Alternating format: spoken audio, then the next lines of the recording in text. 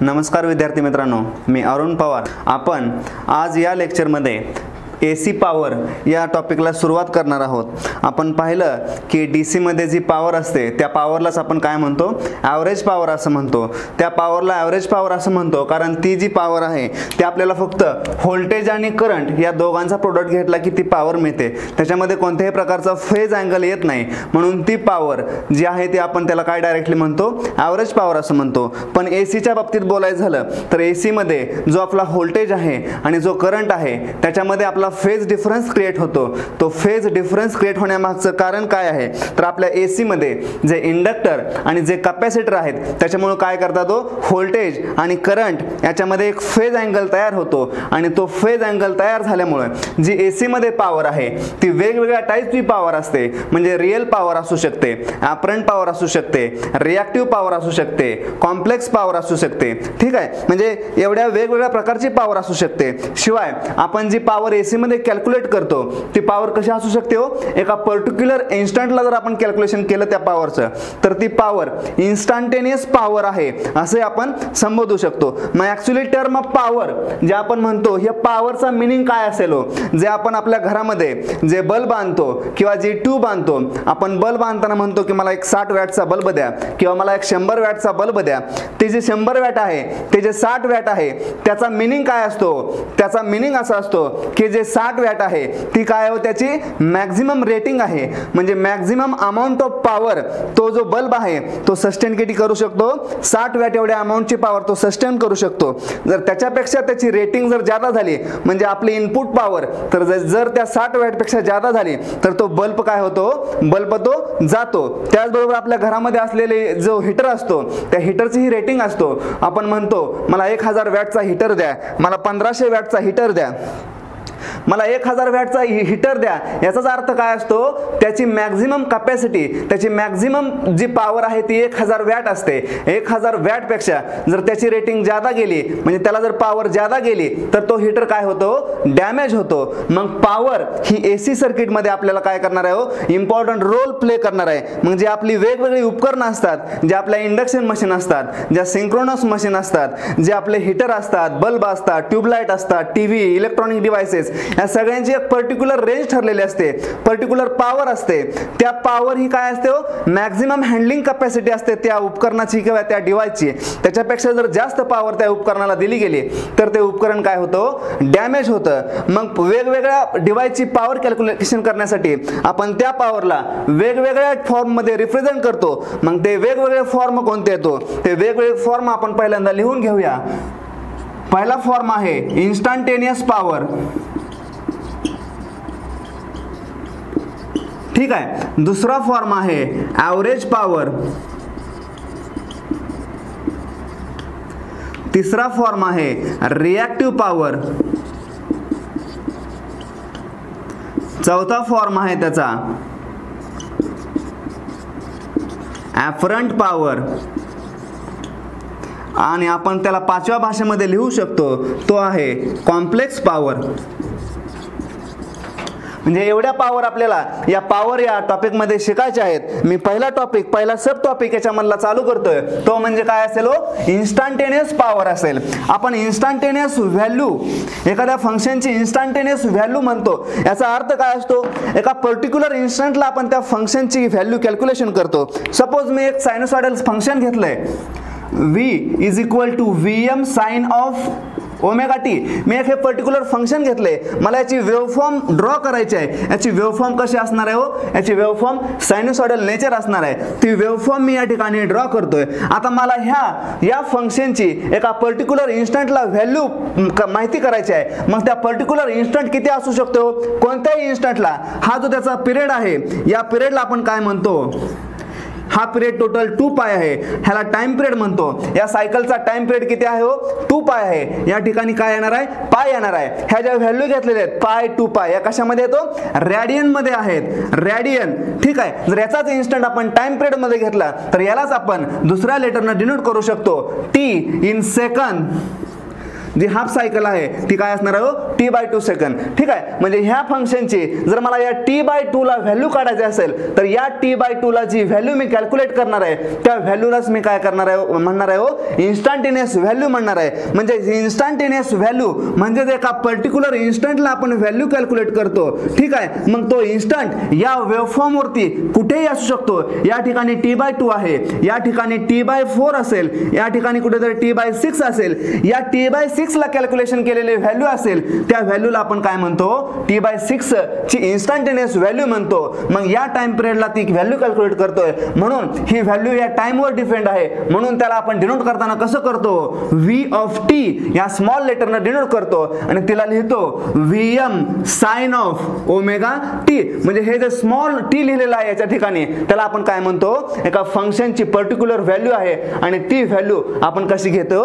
Instantaneous value घेतो. घेतोय आता मला या पर्टिक्युलर इन्स्टंटेनियस पॉवर बद्दल बोलायचं आहे. तर मी या इन्स्टंटेनियस पॉवरला कसं लिहू शकतो? बघा आपण डीसी मध्ये पॉवर पाहत असताना आपण लिहिलं होतं की पी इज इक्वल टू म्हणजेच average power is equal to product of voltage आणि करंट मग त्या ठिकाणी कोणत्याही प्रकारची मॅक्झिमम व्हॅल्यू ऑफ व्होल्टेज नव्हती. कोणत्याही प्रकारची आर एम एस व्हॅल्यू नव्हती. कारण जे आपले डीसी मध्ये व्होल्टेज आणि करंट असते ते काय असते तो कॉन्स्टंट असते विथ रिस्पेक्ट टू टाइम त्यांची व्हॅल्यू किंवा त्यांची मॅग्निट्यूड कधीही चेंज होत नाही. मग ते काय येतो? कॉन्स्टंट आहेत. मग त्याच्यामध्ये आर एम एस व्हॅल्यू म्हणा किंवा ॲव्हरेज व्हॅल्यू म्हणा किंवा मॅक्झिमम व्हॅल्यू म्हणा याचा काही विषय येत नाही. जर त्याच व्हॅल्यू आपण एसी मध्ये कॅल्क्युलेट करायचं असेल तर एसीमध्ये आपण पाहिलं की इन्स्टंटेनियस व्हॅल्यू प्रत्येक इन्स्टंटला चेंज होते. याचाच अर्थ ती व्हॅल्यू काय आहे हो? व्हेरिएबल व्हॅल्यू आहे. विथ रिस्पेक्ट टू टाइम ती काय होणार आहे हो? चेंज होणार आहे. मग मी माझी जी इन्स्टंटेनियस व्हॅल्यू आहे फंक्शनची मी एक सायनोसॉइडल फंक्शन घेतोय. व्ही ऑफ टी हे टी का घेतलंय मी सांगितलंय? कारण मला एका पर्टिक्युलर इन्स्टंटला त्याची व्हॅल्यू कॅल्क्युलेशन करायची आहे. म्हणून ह्या टीला मी घेतलेलं आहे. V of T is equal to V M sine of omega T ठीक आहे? हे फंक्शन मी जनरली याच्या अगोदरच्या लेक्चरमध्ये पण घेत होतो. ज्यावेळेस ही मला व्हॅल्यू इन्स्टंटेनियस व्हॅल्यू रिप्रेझेंट करायची होती मला या ठिकाणी काय करतोय? मी हे V M sine of omega T हे फंक्शन घेतलंय. ह्या फंक्शनची मला काय घेतो मी? फेस शिफ्ट घेतोय. ती phase shift plus theta V या काय करतोय? फेज अँगलनं डिनोट करतोय. हा जो थिटा व्ही आहे या ठिकाणी याला मी काय म्हणतोय? फेस शिफ्ट म्हणतोय. म्हणजेच माझा जर हा रेफरन्स असेल हा झिरो डिग्रीला असेल तर हे जे माझं फंक्शन आहे हे फंक्शन काय असणार आहे हो?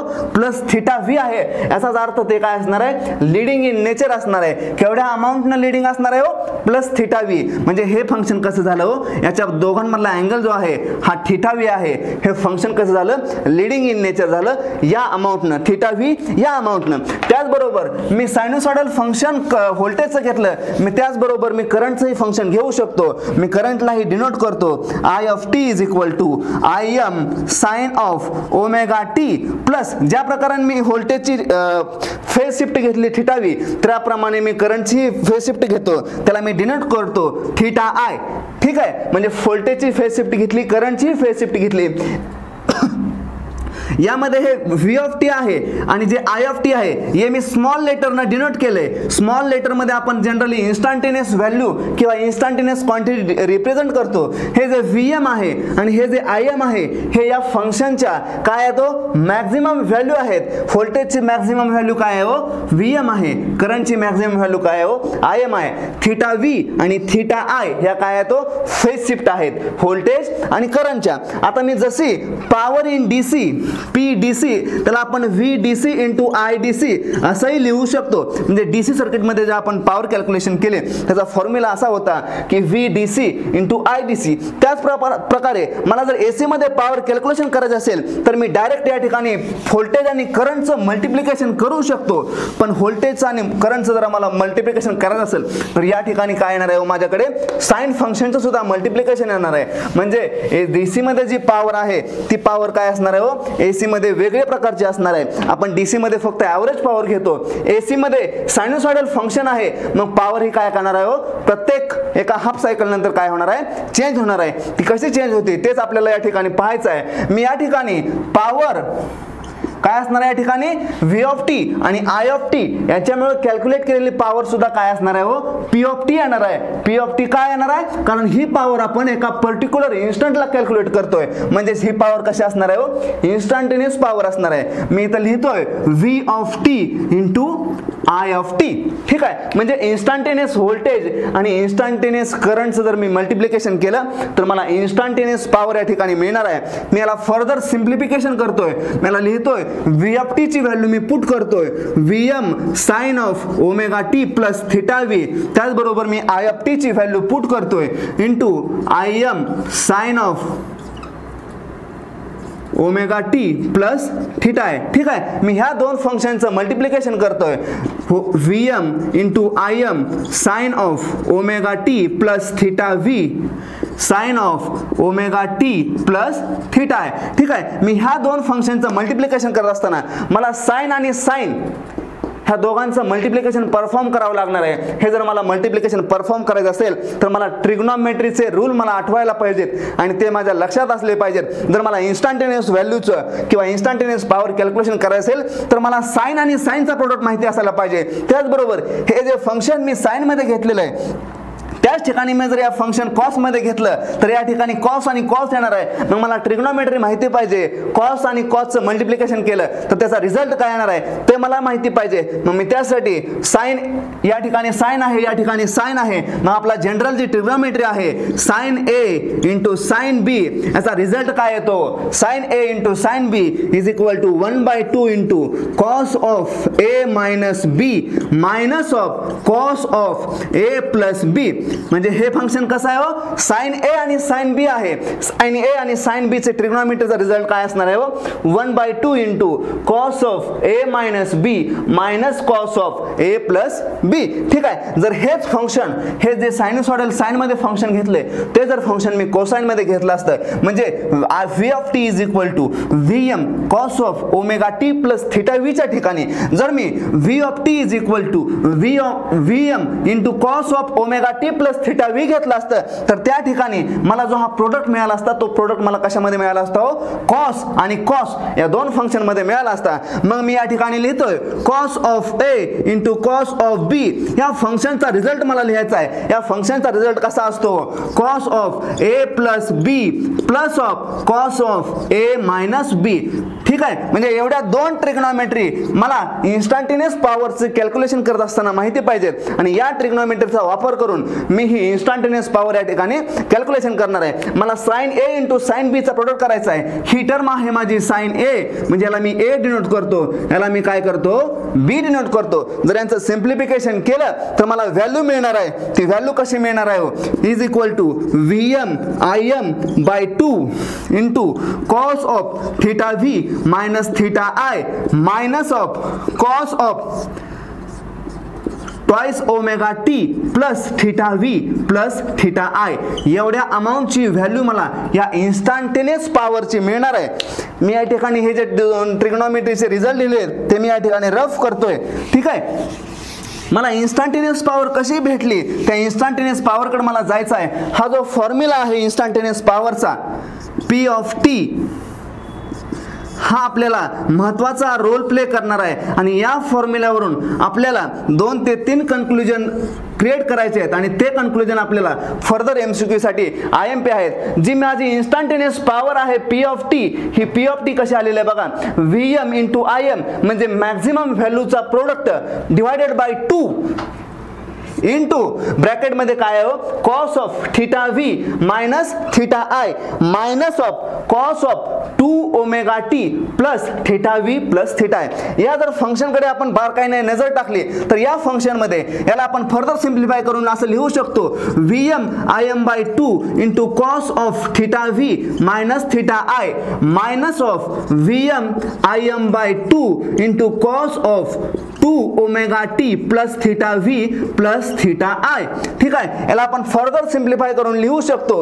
ही झाली माझी इन्स्टंटेनियस पॉवर आता या इक्वेशनकडे किंवा या फॉर्म्युलाकडे मी जर बारकाईने लक्ष दिलं तर मला ही जी पहिली टर्म दिसते या पहिल्या टर्ममध्ये मला कुठेही ओमेगा किंवा टी म्हणजे टाइम पिरियड किंवा अँग्युलर फ्रिक्वेन्सी या पहिल्या फंक्शनमध्ये मला कुठेही दिसत नाहीये. म्हणजे हे फंक्शन कसं झालं हो? हे फंक्शन कॉन्स्टंट झालं. म्हणजे टाइमवर हे फंक्शन काय झालं हो? डिपेंडंट नाहीये. याचाच अर्थ ते काय आहे हो? इंडिपेंडंट आहे. जर मी दुसऱ्या फंक्शनकडे पाहायला गेलो तर दुसरे फंक्शन कसं दिसतंय हो? दुसऱ्या फंक्शनमध्ये cos of two omega T म्हणजे हे फंक्शन कसं आहे हो? टाईमवरती डिपेंड आहे. म्हणजे हे फंक्शन कॉन्स्टंट झालं. हे function time with respect to time काय असणार आहे हो? चेंज असणार आहे. मग या ठिकाणी एक इम्पॉर्टंट कन्क्लुजन आपल्याला द्यायचं आहे. ते कन्क्लुजन कसं आहे बघा. मी जे व्होल्टेज घेतलं होतं इन्स्टंटेनियस व्होल्टेज त्यामध्ये जी फ्रिक्वेन्सी घेतली होती ती फ्रिक्वेन्सी ओमेगा एवढ्या अमाऊंटची घेतली होती जी मी इन्स्टंटेनियस पॉवर कॅल्क्युलेशन केली त्या इन्स्टंटेनियस पॉवरमध्ये जी माझी फ्रिक्वेन्सी आलेली आहे ती फ्रिक्वेन्सी टॉईस ऑफ ओमेगा आली. ठीक आहे? म्हणजे फ्रिक्वेन्सी काय झाली हो?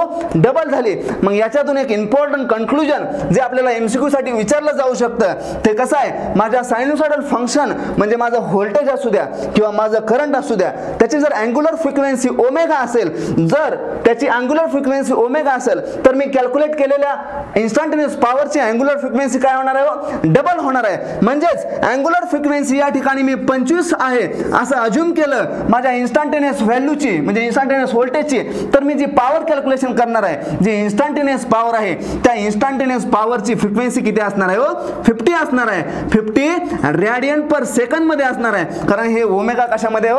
Angular frequency in radian per second म्हणजेच जर माझी फ्रिक्वेन्सी पंचवीस हट पंचवीस रॅडियन पर सेकंड असेल तर इन्स्टंटेनियस पॉवरची फिफ्टी रॅडियन पर सेकंड एवढी फ्रिक्वेन्सी असणार आहे. हे इम्पॉर्टंट कन्क्लुजन या ठिकाणी आपल्याला लक्षात ठेवायचं आहे. त्याचबरोबर यामध्ये जी पहिली टर्म आहे ही पहिली टर्म काय आहे हो?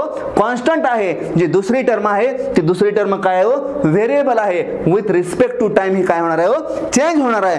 आणि याची जी आ, याचा जो टाइम पिरियड आहे तो कसा आहे हो? टू ओमेगा टी आहे. म्हणजे टू ओमेगा टी या पर्टिक्युलर टाइम पिरियड नंतर ही काय होणार आहे हो? इट सेल्फ रिपीट होणार आहे. पण ही टर्म कशी आहे हो? कॉन्स्टंट टर्म आहे. जर मला आता याच्यानंतर ॲव्हरेज पॉवर बद्दल बोलायचं असेल तर ॲव्हरेज पॉवर बद्दल मी कसं लिहू शकतो? ते आपल्याला आता पाहायचं आहे आपण ॲव्हरेज पॉवर कॅल्क्युलेशन कशी करतो? ॲव्हरेज पॉवर जर आपल्याला कॅल्क्युलेशन करायचं असेल तर आपण काय करतो? एक पर्टिक्युलर टाइम पिरियड घेतो. आणि टाइम पिरियडवरती त्या जर आपण एखाद्या फंक्शनचं इंटिग्रेशन घेतलं तर जी व्हॅल्यू येणार आहे त्या व्हॅल्यूला आपण काय म्हणतो? ॲव्हरेज पॉवर असं काय आहे असं कन्क्लुजन करतो. म्हणजेच मला त्यासाठी एक टाइम पिरियड घ्यावं लागेल. त्या टाइम पिरियडवर त्याचं इंटिग्रेशन घ्यावं लागेल. कुणाचं इंटिग्रेशन घेणार आहे आपण? कुणाची ॲव्हरेज पॉवर करणार आहे आपण? हे जे मी इन्स्टंटेनियस पॉवर काढली ह्या इन्स्टंटेनियस पॉवरची मला ॲव्हरेज ॲव्हरेज पॉवर काढायची आहे. तर मी या टाइम पिरियडचं काय घेणार हो इंटिग्रेशन घेणार आहे. विथ रिस्पेक्ट टू काय? टाइम मग जर मी याचं इंटिग्रेशन घेतलं तर ही जी टर्म आहे ही टर्म काय आहे हो? कॉन्स्टंट टर्म आहे. म्हणजे याच्यामध्ये कुठेही time with respect to time variation होत नाही. मग ही टर्म जी आहे ती काय येणार- असणार आहे हो? आहे अशी ॲव्हरेज पॉवर मध्ये येणार आहे. प्लस जी दुसरी टर्म आहे V M I M by two cos of two omega T plus theta V plus theta I ही जी टर्म आहे ही टर्म व्हॅनिश होणार आहे. का व्हॅनिश होणार आहे? आपण पाहिलं कोणत्याही सायनोसॉडल फंक्शनचं जर आपण ॲव्हरेज घेतलं तर ते ॲव्हरेज ऑलवेज झिरो असतं. झिरो का असतं? कारण त्याचा जो पॉझिटिव्ह हाफ सायकल असतो तेवढ्याच अमाऊंटचा निगेटिव्ह हाफ सायकल असतो. म्हणजे पॉझिटिव्ह सायकल आणि निगेटिव्ह सायकल एकमेकांना कॅन्सल होणार आहेत. आणि जर त्या एकमेकाला कॅन्सल झाल्या तर ॲव्हरेज व्हॅल्यू काय असणार आहे हो? झिरो असणार आहे. मग ही फंक्शन टाईमवर डिपेंड आहे. आणि टाईमवर डिपेंड असल्यामुळं एका पर्टिक्युलर इन्स्टंट नंतर ते काय होणार आहे? इट सेल्फ रिपीट होणार आहे. आणि जर इट सेल्फ रिपीट होत असेल तर याची ॲव्हरेज व्हॅल्यू काय असणार आहे हो? झिरो असणार आहे. मग ह्या फंक्शनची जर ॲव्हरेज व्हॅल्यू काढायची असेल किंवा ॲव्हरेज पॉवर काढायची असेल P average is equal to किती असणार आहे हो? V M I M by two into cos of theta V minus theta I एवढ्या अमाऊंटची ॲव्हरेज पॉवर या फंक्शनची असणार आहे. ही जी आपण कॅल्क्युलेट केली ही इन्स्टंटेनियस पॉवर झाली. नंतर ही जी आपण कॅल्क्युलेट केली ती ॲव्हरेज पॉवर झाली. मग ॲव्हरेज पॉवरलाच आपण असं डिफाईन करू शकतो की average power is the average of instantaneous power त्यालाच आपण कसं डिफाईन करू शकतो? ॲव्हरेज पॉवरचीच मी डेफिनेशन लिहितोय. Average power is the average of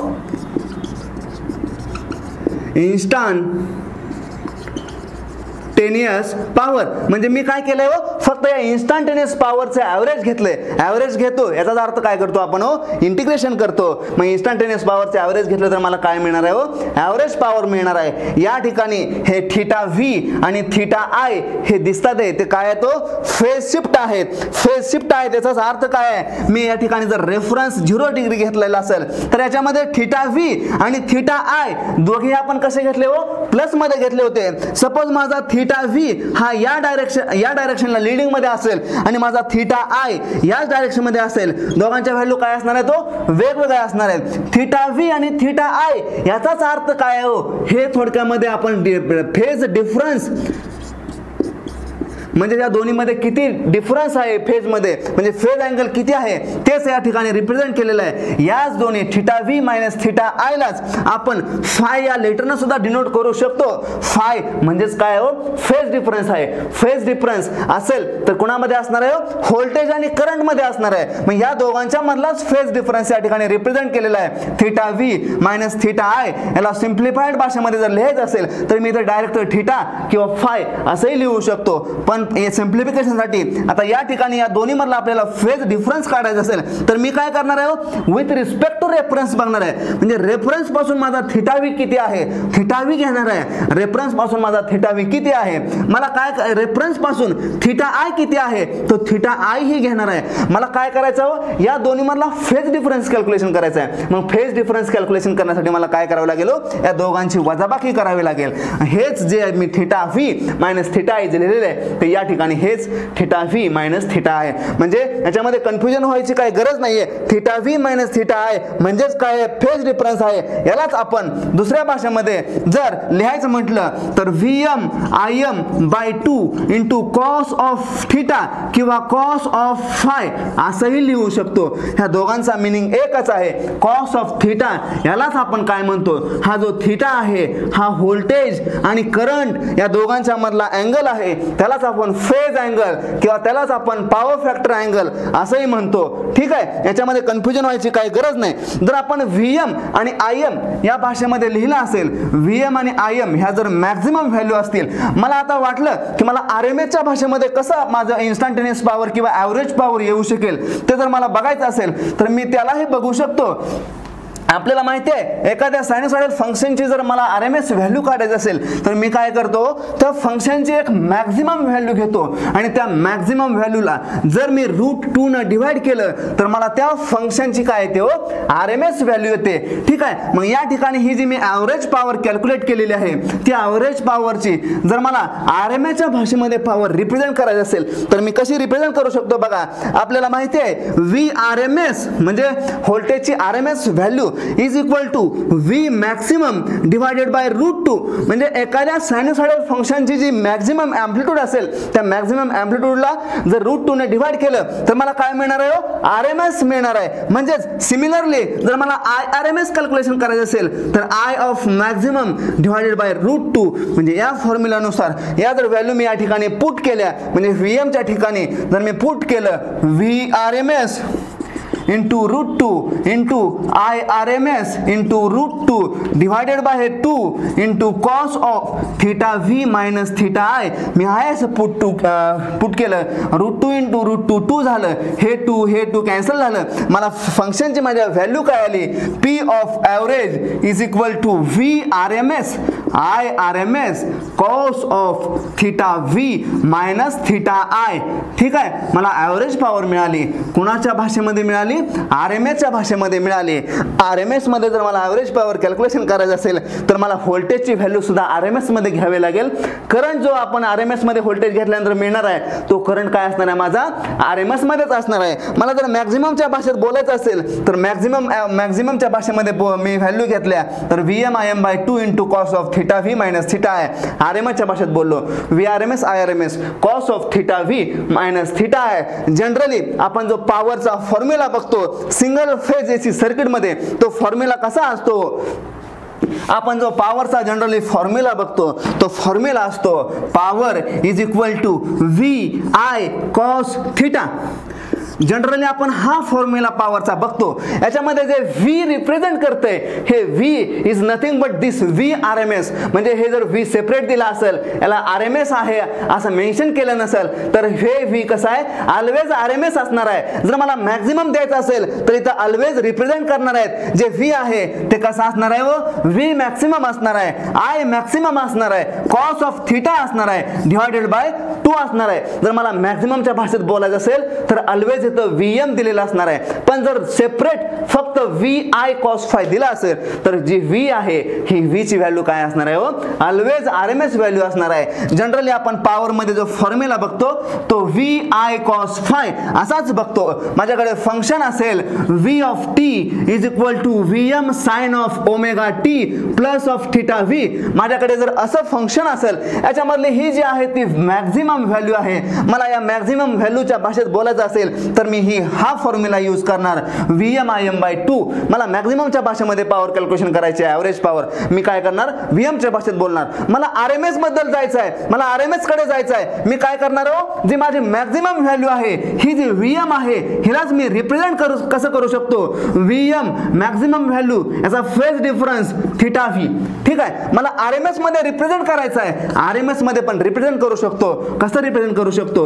V M divided by root two phase difference theta म्हणजे आर एम एसमध्ये बोललो तर डिवायडेड बाय रूट टू येणार आहे. मग मला ह्या जी व्हॅल्यू जर व्ही आय कॉस थिटा ह्या व्हॅल्यू आर एम एस व्हॅल्यूनं मला जर कॅल्क्युलेशन करायचं असेल तर मला या व्हीच्या ठिकाणी मला जी व्हॅल्यू पुट करावी लागणार आहे ती V M divided by root two he value मला पुट करावी लागणार आहे. ठीक आहे? आणि त्यानुसार मी जर कॅल्क्युलेशन परफॉर्म केलं तर मला काय मिळणार आहे हो? ॲव्हरेज पॉवर या ठिकाणी मिळणार आहे. आपण आता डी मध्ये जी पाहिली पॉवर आणि एसी मध्ये जी पॉवर पाहिली त्या दोघांना कसं रिलेट करूया आणि रिलेट केल्यानंतर आपल्याला काय एक कन्क्लुजन मिळतंय ते कन्क्लुजन आपल्याला या ठिकाणी पाहायचं आहे. ठीक आहे? आपण पाहिलं की R M S value in AC circuit काय हो? त्याचा डी सी इक्वेलंट आहे. म्हणजे जर डी मध्ये पाच ओम एवढा रजिस्टर असेल त्याच्यामधून फ्लो होणारा करंट जर फाईव्ह अँपेअर असेल तर एसी मध्ये जर आपण आर एम एस व्हॅल्यू काढली तर आर एम एस व्हॅल्यू तेवढ्याच अमाऊंटचा करंट त्यामधून फ्लो करणार आहे किंवा तेवढ्याच अमाऊंटची पॉवर त्या रेजिस्टन्समध्ये काय करणार आहे हो?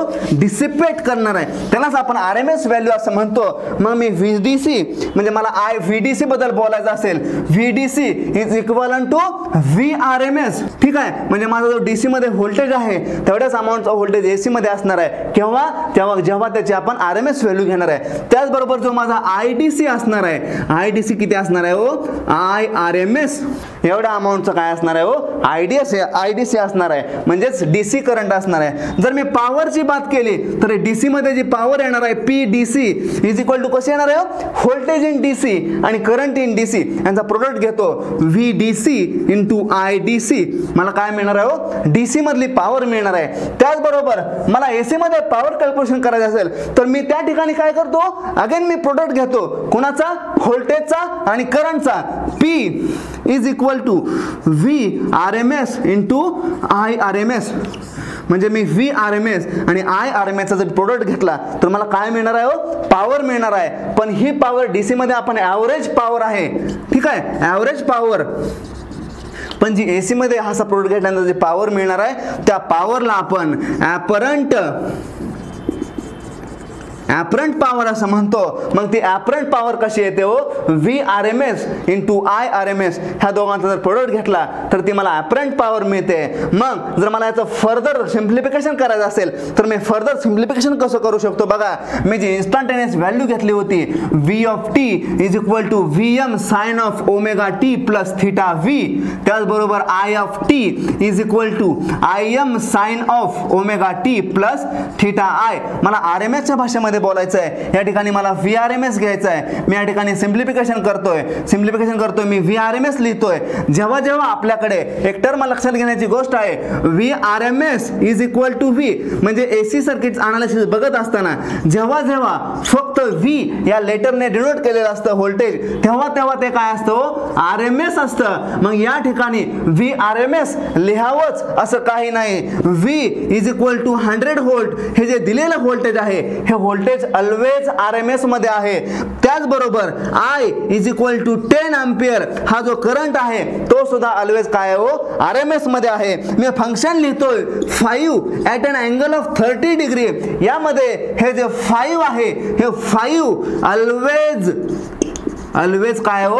आर एम एस व्हॅल्यू आहे. आपल्या घरामध्ये जो सप्लाय येतो तो दोनशे तीस व्होल्टचा सप्लाय येतो. तो दोनशे तीस व्होल्टचा सप्लाय कसा असतो? आर एम एस व्होल्टचा सप्लाय असतो. म्हणजे दोनशे तीस ही व्हॅल्यू काय हो? आर एम एस व्हॅल्यू आहे. ना की मॅक्झिमम व्हॅल्यू माझे मॅक्झिमम व्हॅल्यू कसे असणार आहे? दोनशे तीस ही आर एम एस व्हॅल्यू आहे.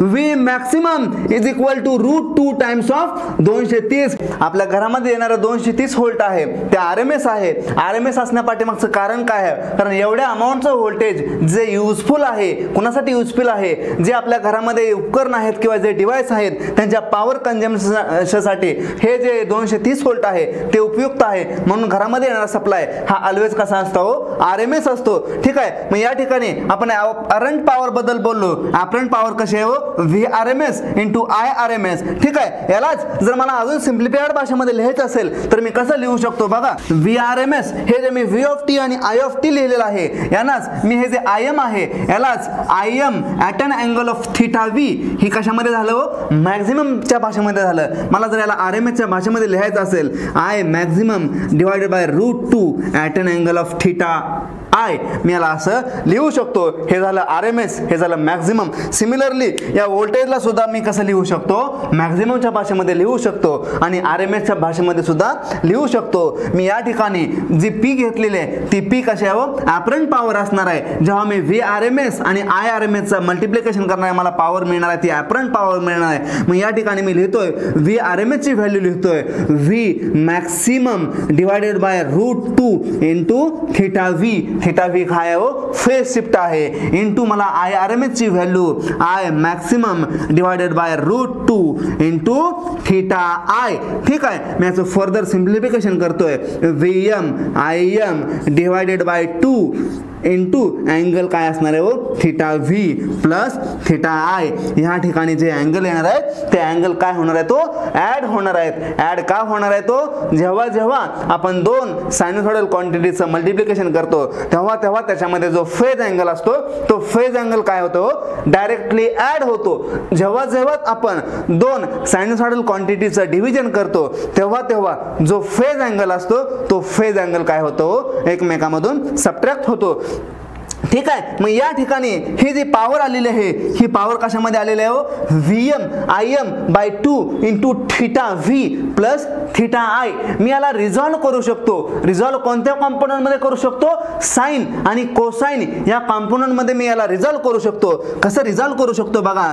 P is equal to V M I M by two into cos of theta V plus theta I त्याचबरोबर plus J V Im I M by two into sine of plus V plus I मी याला असं represent करू शकतो.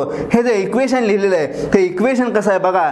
त्याचबरोबर जे मी instantaneous पॉवरचं equation लिहिलं होतं ते इन्स्टंटेनियस पॉवरचं इक्वेशन मी पुन्हा एकदा या ठिकाणी लिहितोय. आपल्याला एक कन्क्लुजन जे महत्त्वाचं आहे ते आपल्याला या ठिकाणी डिराईव्ह करायचं आहे.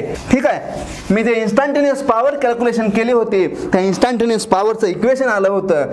P of T is equal to V M I M by two into cos of theta V minus theta I minus of V M I M by two into cos of twice omega T plus theta V plus theta I हे equation आणि हे equation जर दोन equation आपण compare केले तर बघा ही जी टर्म आली होती इन्स्टंटेनियस पॉवरमधली जी कॉन्स्टंट टर्म होती त्या टर्मलाच आपण ॲव्हरेज पॉवर असं म्हटलं होतं. ठीक आहे? या ठिकाणी सुद्धा एक टर्म आलेली आहे V M I M of V M I M by two into cos of theta V plus theta I या टर्मला सुद्धा आपण कॉन्स्टंट पॉवर म्हणू शकतो.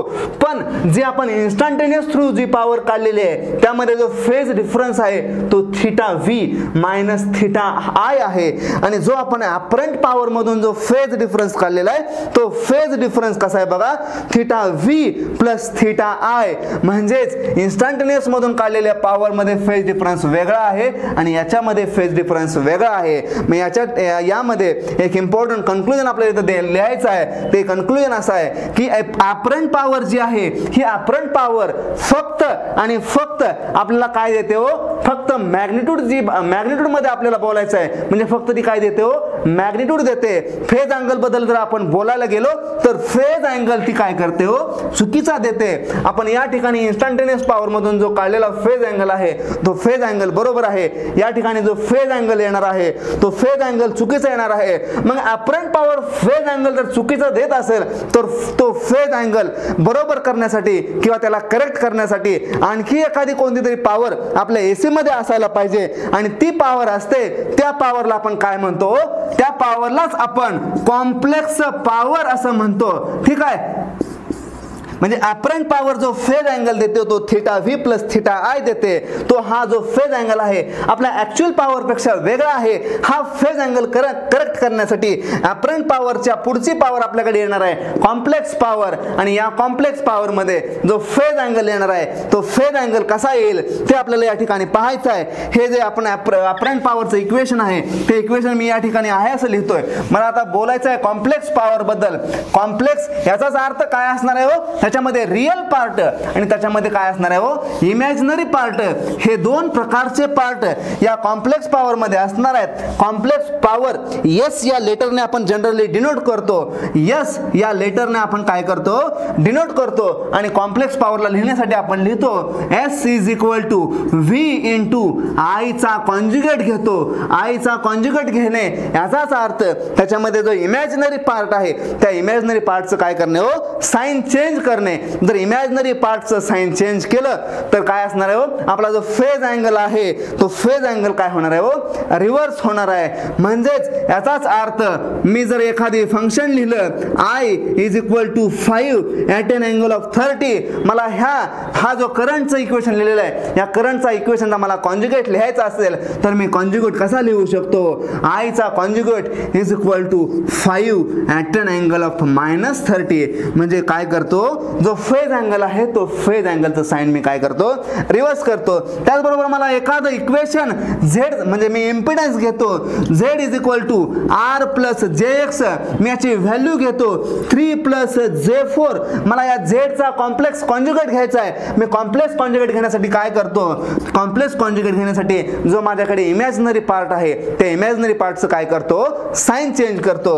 R minus J X which is equal to three minus J four म्हणजे काय होतंय बघा इमॅजिनरी पार्टचं साईन चेंज होतंय. जर या इमॅजिनरी पार्टचं साईन चेंज होत असेल जर आपण ग्राफिकलच्या माध्यमातून बघितलं मी ग्राफिकल रिप्रेझेंटेशन रिप्रेझेंटेशन बघितलं हा जो फेजर आहे हा जो इम्पिडन्स आहे थ्री प्लस जे फोर हा फर्स्ट क्वार्टरमध्ये लाय करणार आहे. ज्या ठिकाणी जे माझा रिअल पार्ट आहे तो पण पॉझिटिव्ह आहे. जो इमॅजिनरी पार्ट आहे तो पण पॉझिटिव्ह आहे. पण जर मी त्या ठिकाणी याचा कॉम्प्लेक्स कॉन्ज्युगेट घेतला तर काय होतंय? थ्री मायनस जे फोर माझा रिअल पार्ट हा पॉझिटिव्ह राहतोय. पण जो माझा इमॅजिनरी पार्ट आहे तो काय होतो? निगेटिव्ह होतोय. याचाच अर्थ जो माझा इम्पिडन्स फर्स्ट क्वार्टरमध्ये होता तोच माझा इम्पिडन्स जेव्हा मी कॉम्प्लेक्स कॉन्ज्युगेट घेणार आहे तेव्हा माझा काय असणार आहे हो? फोर्थ क्वार्टरमध्ये येणार आहे. मग या ठिकाणी आलेला फेज अँगल हा फेज अँगल पॉझिटिव्ह असणार आहे. या ठिकाणी फेज अँगल आलेला काय असणार आहे हो? निगेटिव्ह असणार आहे. With respect to this real axis और with respect to this reference म्हणजे कॉम्प्लेक्स कॉन्जिकेट घेतोय. याचा अर्थ काय होतो हो? जो आपला थिटा आहे तो प्लसचा मायनस होतोय. जो आपला इमॅजनरी पार्ट आहे तो काय होतोय? रिव्हर्स होतोय. जो आपला अँगल आहे तो पॉझिटिव्हचा निगेटिव्ह होतोय. त्यालाच आपण कॉम्प्लेक्स कॉन्जिकेट असं म्हणतो. मग या ठिकाणी जर मला या इन्स्टंटेनियस व्हॅल्यूचा जर मला कॉम्प्लेक्स कॉन्ज्युगेट घ्यायचा असेल तर मी इन्स्टंटेनियस व्हॅल्यूचा कॉम्प्लेक्स कॉन्ज्युगेट कसा घेऊ शकतो? बघा ही जी माझी इन्स्टंटेनियस व्हॅल्यू आहे इन्स्टंटेनियस व्हॅल्यू मी कशी रिप्रेझेंट केली? I M by root two into theta I मला याचा कॉम्प्लेक्स कॉन्ज्युगेट घ्यायचा आहे. व्ही आणि आय हे जे डिनोट केलेलं आहे जेव्हा जेव्हा मी फक्त व्ही आणि फक्त आय डिनोट करतोय याचाच अर्थ हे ऑलवेज इन आर एम एसमध्ये आहेत. मॅक्झिममचा याचा काही देणं घेणं नाहीये. ह्या व्हॅल्यू आर एम एस आहेत. म्हणजेच I V M by root two into theta V आणि मला काय करायचं आहे हो? हा जो I M divided by root two theta I आहे याचा काय करणार आहे मी हो? कॉम्प्लेक्स कॉन्ज्युगेट घेणार आहे. मी जर याचा कॉम्प्लेक्स कॉन्ज्युगेट घेत असेल तर साईन कसं होणार आहे हो त्याचं? Few M by root two theta V into I M divided by root two हा जो प्लस थिटा आहे ते काय होणार आहे हो? मायनस थिटा आय होणार आहे. म्हणजेच आपण याचा कॉम्प्लेक्स कॉन्ज्युगेट घेतला. जर याचा कॉम्प्लेक्स कॉन्ज्युगेट घेतला तर माझ्याकडे फंक्शन काय येणार आहे? V M I M by two into theta V minus theta I माझ्याकडे हे इक्वेशन येणार आहे. हे इक्वेशन म्हणजेच काय आहे हो? कॉम्प्लेक्स पॉवरचं इक्वेशन आहे. त्याचा तो काय आहे हो? एक फेजर फॉर्म आहे. याला जर मी रिझॉल्व करायचं म्हणलं साईन आणि कोसाईन मध्ये तर मी याला रिझॉल्व करू शकतो. S is equal to V M I M by two into cos of theta V minus theta I plus of J V vm I by by two into of of theta V minus i. I या ठिकाणी हे जे complex power आलेले आहे ह्या complex power मधला हा जो रिअल पार्ट आहे हा रिअल पार्ट आणि हा जो पी आपण अपरंट पॉवरचा काढलेला आहे याच्यामधला जो रिअल पार्ट आहे तो फेज डिफरन्समध्ये डिफरन्स डिफरंट आहेत.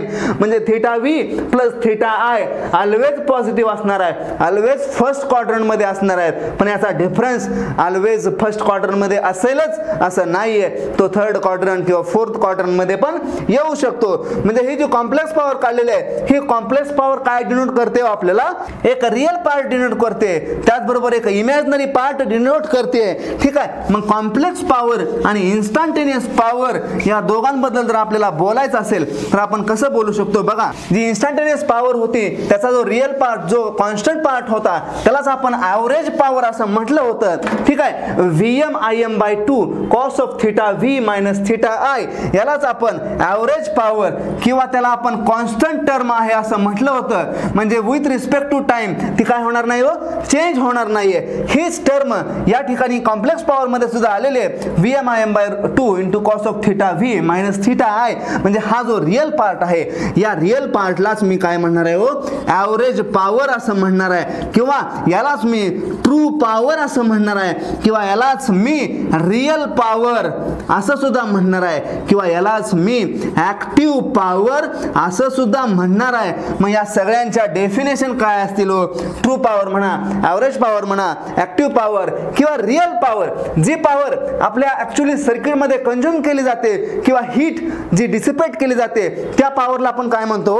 True power real power active power किंवा ॲव्हरेज पॉवर असं म्हणतो मग आपल्या सर्किटमध्ये जो हीट डिसिपेशन करतो तो एकच इलिमेंट असतो. त्या इलिमेंटचं नाव आहे रेजिस्टन्स म्हणजे जेव्हा जेव्हा रेजिस्टन्स सर्किटमध्ये असणार आहे तेव्हा तेव्हा तिथे ॲव्हरेज पॉवर किंवा ट्रू पॉवर येणार आहे. जेव्हा जेव्हा आपल्या सर्किटमध्ये रेजिस्टन्स नसणार आहे तेव्हा तेव्हा त्या सर्किटमध्ये रे ट्रू पॉवरचा किंवा ॲक्टिव्ह पॉवरचा काही संबंध येणार नाहीये. ठीक आहे? मग ही जी पॉवर असणार आहे या पॉवरला आपण ॲक्टिव्ह पॉवर असं म्हणतो. ही जी पॉवर आहे त्या पॉवरलाच ऍक्टिव्ह पॉवर असं म्हणतो त्याला डिनोट करतो आपण पी या कॅपिटल लेटरने त्याला डिनोट करतो आणि या पीचं म्हणजे ॲक्टिव्ह पॉवरचं युनिट जे असतं त्यालाच आपण काय म्हणतो? वॅट हे त्याचं युनिट आहे. त्याचबरोबर ही जी दुसरी इमॅजिनरी टर्म आहे j of V M I M by two into sine of theta V plus theta I ही जी कॉम्प्लेक्स पॉवर आहे हिनं आपल्याला काय दिलेलं तो? दोन टर्म दिलेला आहेत कॉम्प्लेक्स आहे याचाच अर्थ काय आहे? रिअल पण असणार आहे. इमॅजनरी असणार आहे. मग या कॉम्प्लेक्स पॉवरचा जो इमॅजनरी पार्ट आहे या इमॅजनरी पार्टला आपण काय म्हणतो? रिॲक्टिव्ह पॉवर असं म्हणतो. ही जी रिॲक्टिव्ह पॉवर आहे ही रिॲक्टिव्ह पॉवर त्यालाच आपण युजलेस म्हणजे याचा आपल्या सर्किटमध्ये कुठेही वापर होत नाही. त्यालाच आपण युजलेस पॉवर असं म्हणतो. ही जी ॲक्टिव्ह पॉवर आहे ह्या ॲक्टिव्ह पॉवरलाच आपण युजफुल पॉवर किंवा वॅटफुल पॉवर असंही म्हणतो. ही जी रिॲक्टिव्ह पॉवर आहे या रिॲक्टिव्ह पॉवरला युजलेस पॉवर किंवा वॅटलेस पॉवर किंवा त्यालाच आपण रिॲक्टिव्ह पॉवर असंही म्हणतो. ह्या रिॲक्टिव्ह पॉवरला आपण डिनोट करतो क्यू या कॅपिटल लेटरने आणि त्याचं युनिट असतंय व्ही ए आर म्हणजेच व्होल्ट अँपियर रिॲक्टिव्ह हे रिॲक्टिव्ह पॉवरचं युनिट आहे. मग आपल्या सर्किटमध्ये जी युजफुल पॉवर आहे ती युजफुल पॉवर कोणती पॉवर आहे हो? ॲक्टिव्ह पॉवर आहे. ॲक्टिव्ह पॉवरचा फॉर्म्युला काय आहे हो? V M I M by two into cos of theta V minus theta I हा आपल्या ॲक्टिव्ह पॉवरचा त्यालाच आपण ट्रू रिअल ॲव्हरेज असंही म्हणतो. माझ्या रिॲक्टिव्ह पॉवरचा फॉर्म्युला काय असणार आहे V M I M by two into sine of theta V minus theta I याच्यामध्ये बघा हे साईन फंक्शन आलेलं आहे. साईन फंक्शन असेल तर माझी पॉवर रिॲक्टिव्ह पॉवर असणार आहे. कॉस फंक्शन आलेलं आहे. कोसाईन फंक्शन असेल तर माझी पॉवर काय असणार आहे हो?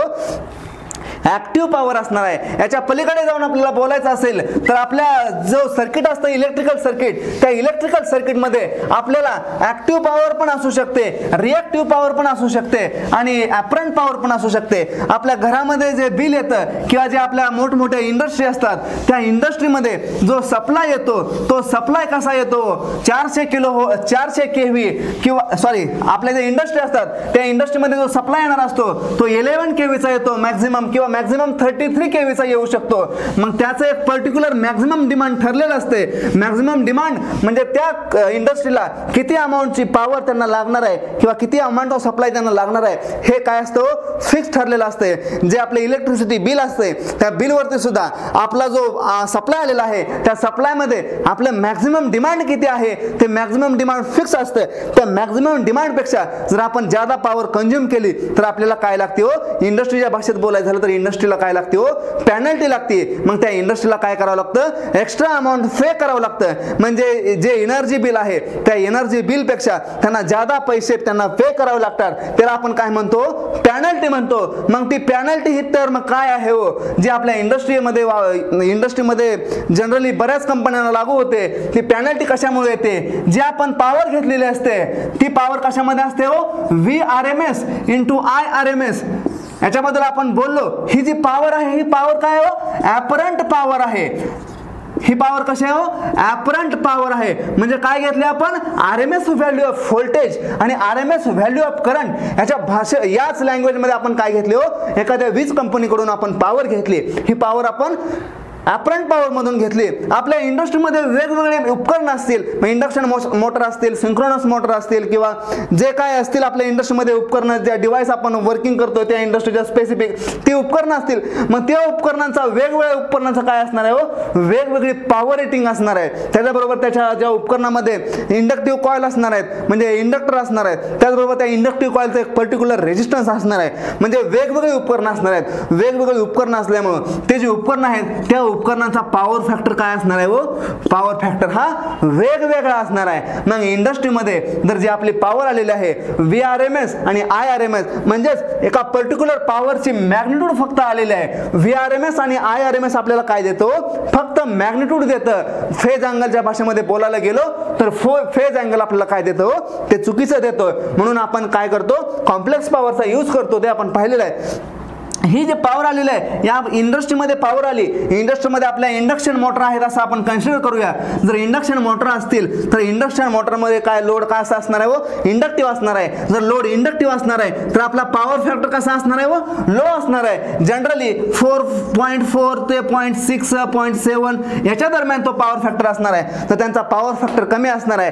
तर जी ऍक्टिव्ह पॉवर आहे पॉवर फॅक्टर कमी आहे याचाच अर्थ जे व्होल्टेज आहे आणि जो करंट आहे याच्यामधला जो फेज डिफरन्स आहे जो थिटा व्ही आणि थिटा व्ही थिटा व्ही आणि थिटा आहे यांच्यामध्ये जो फेज डिफरन्स आहे तो फेज डिफरन्स काय असणार आहे हो? जादा असणार आहे. जर फेज डिफरन्स जादा असेल तर माझा पॉवर फॅक्टर काय असणार आहे हो? माझा पॉवर फॅक्टर कमी होणार आहे. आणि जर माझा पॉवर फॅक्टर कमी असला तर माझी जी ॲक्टिव्ह पॉवर आहे जी ॲक्टिव्ह पॉवरची डेफिनेशन लिहिली आपण मॅक्झिममच्या भाषेमध्ये V M I M by two into cos of theta V minus theta I यांच्यामधला डिफरन्स यांच्यामधला डिफरन्स जर जादा झाला तर काय होणार आहे हो? हा कॉस थिटा काय होणार आहे? कमी होणार आहे. म्हणजे माझ्या इंडस्ट्रीमध्ये जी पॉवर ऍक्टिव्ह पॉवर कन्झम्पन होणार आहे ते कमी होणार आहे. यांच्यामधला डिफरन्स जर जादा झाला तर साईन नाईन्टीला काय होणार आहे? थिटा डिफरन्स जादा म्हणजे काय होणार आहे? माझा थिटा नाईन्टीला अप्रोच होणार आहे. जर थिटा नाईन्टीला अप्रोच होणार असेल तर साईन नाईन्टीची व्हॅल्यू आपल्याला माहिती आहे वन असते. साईन नाईन्टी जर वन असेल तर maximum amount of reactive power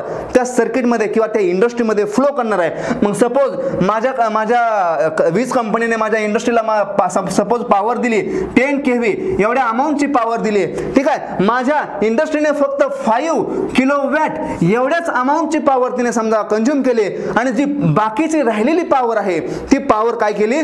त्या इंडस्ट्रीने काय केली? वेस्ट केली. वेस्ट केली याचाच अर्थ काय हो? त्या इंडस्ट्रीपासून त्या सप्लाय जो सप्लायर कंपनी आहे यांच्या दोघांमध्ये म्हणजे लोडपासून सोर्स पर्यंत किंवा सोर्सपासून लोड पर्यंत ती पॉवर काय झाली हो? फक्त फ्लो होत राहिली. त्या पॉवर पॉवरचा त्या इंडस्ट्रीनेही वापर केला नाही आणि त्या सप्लाय कंपनीला त्याचा काय फायदा झाला नाही. मग सप्लाय कंपनी जी आहे आपली वीज कंपनी जी आहे ती वीज कंपनी काय म्हणते?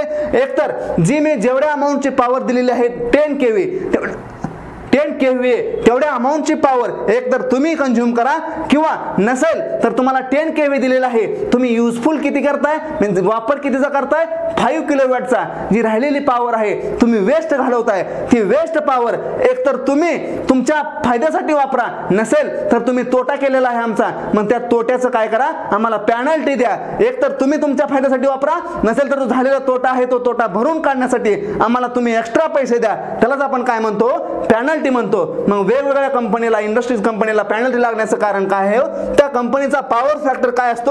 कमी असतो. मग पॉवर फॅक्टर कमी आहे. याचाच अर्थ काय आहे? थिटा व्ही आणि थिटा आय याच्यामध्ये काय हो फेज डिफरन्स जादा आहे. हा माझा सपोज व्ही असेल हा माझा सपोज आय असेल. यांच्या दोघांमध्ये अँगल मोठा आहे. जर अँगल मोठा आहे कॉस झिरो आपल्याला माहिती आहे वन असतो. म्हणजे थिटा म्हणजे व्होल्टेज आणि करंट जेवढे दोघ दोघे एकमेकांसोबत असतील म्हणजेच दोघे एकमेकांच्या फेजमध्ये जेवढे असतील तेवढं ते ऍक्टिव्ह पॉवर कन्झम्पन ज्यादा होणार आहे. एवढा त्यांच्यामध्ये अँगल ज्यादा असेल तेवढं त्यांच्यामध्ये जे ऍक्टिव्ह पॉवरचं कन्झम्पन असणार आहे ते कमी असणार आहे. मग कंपनीला तोटा होतो.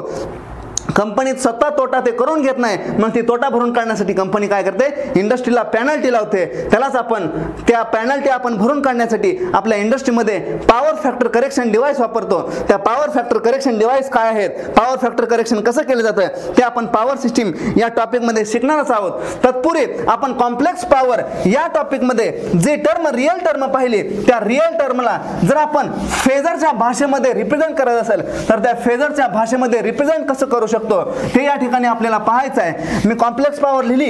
S is equal to V M I M by two into cos of theta V minus theta I plus of j into V M I M by two into sine of theta V minus theta I मी हे complex power लिहिली. जर मला याला power ट्रियांगलच्या भाषेमध्ये किंवा फेजरच्या भाषेमध्ये लिहायचं असेल तर मी कसं लिहू शकतो? ते आपल्याला या ठिकाणी पाहायचं आहे. मग त्याच्यानुसार आपल्याला पॉवर ट्रायंगल हा काय असतो? एसी सर्किटमध्ये तोही आपल्याला समजेल. कॉम्प्लेक्स पॉवर आपली आली होती. S is equal to V M I M by two into cos of theta V minus theta I plus j V M I M by two into sine of theta V minus theta I he complex power आली होती. यामध्ये जी real real part होता त्या real पार्टला आपण P असं म्हणतो. P म्हणजेच काय? ऍक्टिव्ह पॉवर आहे. जो इमॅजनरी पार्ट होता त्या इमॅजनरी पार्टला आपण रिॲक्टिव्ह पॉवर म्हणतो. क्यू त्याला डिनोट करतो क्यू या लेटरनं त्याचं युनिट काय असतं व्होल्ट अँपियर रिॲक्टिव्ह ह्याचं युनिट असतं व्होल्ट अँपियर रिॲक्टिव्ह ऍक्टिव्ह पॉवरचं युनिट असतं वॅट ठीक आहे? जर मी याला फेजरच्या भाषेमध्ये रिप्रेझेंट करायचं म्हटलं तर मी याला फेजरच्या भाषेमध्ये कसं रिप्रेझेंट करू शकतो? ते आपल्याला पाहायचं आहे. मी सांगितलं माझ्याकडे एखादी रिअल टर्म असेल आणि एखादी इमॅजनरी टर्म असेल किंवा मी इम्पिडन्स किंवा व्होल्टेजच्या भाषेमध्ये इंडक्टरच्या अप्रॉसचं व्होल्टेज जेव्हा जेव्हा मी लिहिलं V L is equal to I into j omega L जेव्हा जेव्हा जे हा फेजर येणार आहे तेव्हा तेव्हा जे हा फेजर काय करणार आहे हो? माझ्या फेजरला माझ्या रेफरन्सपासून काय करणार आहे हो? नाईन्टी डिग्री रोटेट करणार आहे. मग ती रोटेशन त्याची जर हा फेजर जे पॉझिटिव्ह असेल तर त्याची रोटेशन कशी होणार आहे हो? अँटी क्लॉकवाईज डायरेक्शनमध्ये होणार आहे. नाईन्टी डिग्रीने जर हा जे जे निगेटिव्ह असेल तर माझ्या फेजरची rotation and counter sorry clockwise डायरेक्शनमध्ये होणार आहे. किती डिग्रीने होणार आहे? नाईन्टी डिग्री होणार आहे. मग या ठिकाणी माझ्या कॉम्प्लेक्समध्ये जे हा फेजर आलेला आहे J into sine of function आलेला आहे मग यालाच मी रिप्रेझेंट करू शकतो. इन टर्म्स ऑफ फेजर मी या ठिकाणी रिअल ॲक्सेसवरती घेतोय. पी म्हणजे ॲक्टिव्ह पॉवर ही रिअल पार्टवरती घेतोय. ठीक आहे? हा जो फेजर आलेला आहे हा फेजर कशाला आलेलो प्लस जे आलेला आहे म्हणजे ही रिॲक्टिव्ह पॉवर काय होणार आहे हो? या पी पासून प्लस नाईन्टीने काय होणार आहे हो? रोटेट होणार आहे. ही जी आहे ही रिॲक्टिव्ह पॉवर आहे.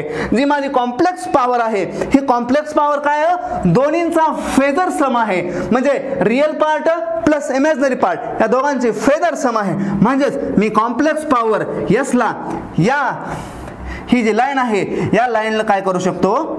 या लाईनने तिला डिनोट करू शकतो. ठीक आहे? ही झाली माझी कॉम्प्लेक्स पॉवर झाली. या कॉम्प्लेक्स पॉवरला मी डिनोट करतोय. यस या लेटरनं आणि त्याची व्हॅल्यू कशी येते हो? व्ही इंटू आयचा कॉन्ज्युगेट ही झाली माझी कॉम्प्लेक्स पॉवर तिला डिनोट केलं व्ही इंटू आयचा कॉन्ज्युगेट या कॉम्प्लेक्स पॉवरचं युनिट आहे. व्होल्ट इंटू अँपियर कारण हा प्रोडक्ट आहे. कोणाचा प्रोडक्ट आहे? व्होल्टेज आणि करंटच्या कॉन्ज्युगेटचा पीला डिनोट करतो मी. ही पी आहे. हिला वॅट पीने डिनोट करतो त्याचं युनिट वॅट क्यू क्यूचं युनिट काय झालं हो? व्ही ए आर ठीक आहे. हे मी डिनोट केलं. आता मी जो आपण फेजर अल्जेब्रा पाहत होतो त्या फेजर अल्जेब्रामध्ये पाहिलं सांगितलं होतं की मला एखाद्या क्वांटिटीचा फेज अँगल कॅल्क्युलेशन करायचं असेल जर मला फेज अँगल कॅल्क्युलेशन करायचं असेल तर मी काय करत होतो? टॅन इनवर्स घेत होतो. Theta is equal to tan inverse of tan inverse घेत होतो. त्या ठिकाणी काय घेत होतो? इमॅजिनरी टर्म घेत होतो. इमॅजिनरी टर्म डिव्हायडेड बाय काय करत होतो? रिअल टर्म घेत होतो. मला या ठिकाणी फेज अँगल कॅल्क्युलेशन करायचा आहे. हा जो इमॅ रिअल पार्ट आहे आणि इमॅजिनरी पार्ट आहे या दोघांच्या मध्ये किती फेज अँगल असेल तो मला कॅल्क्युलेट करायचा आहे. मी काय करणार आहो? V M I M by two याचा ही इमॅजिनरी टर्म घेणार त्याला डिवाइड येणे करणार आणि पर्टिक्युलर थिटा कॅल्क्युलेट करणार. हा जो थिटा येणार आहे हा थिटाच काय असणार आहे हो आपल्या दोघांमधला फेज डिफरन्स असणार आहे. हा थिटा कुणाच्या दोघांमधला फेज डिफरन्स असणार आहे? हा पी आणि हा क्यू म्हणजे हा रिअल पार्ट आणि हा इमॅजिनरी पार्ट रिअल पॉवर आणि रिॲक्टिव्ह पॉवर यांच्या दोघांमधला तो फेज डिफरन्स आहे त्यालाच आपण पॉवर फॅक्टर अँगल ही असं म्हणू शकतो. मला इथूनच बोलायचं झालं तर मी लिहितो tan theta is equal to समोरची बाजू क्यू डिवायडेड बाय लगतची बाजू पी. मी याला असंही लिहू शकतो मला थिटा काढायचा आहे. Tan theta is equal to समोरची बाजू बाजू भागली लगतची बाजू. मला कॉस थिटा काढायचा आहे. मला पॉवर फॅक्टर काढायचा आहे. Cos theta is equal to लगतची बाजू डिवायडेड बाय कर्ण. कर्ण कोणता आहे आपला? यस यस म्हणजेच काय हो? हायपोटेनियस आहे त्याचा. म्हणजे पी डिवायडेड बाय यस म्हणजे आपण काय करू शकतो? कॉस थिटा पण काढू शकतो. म्हणजे हा काय झाला हो? पॉवर फॅक्टर अँगल झाला. या थिटाला आपण काय म्हणतो?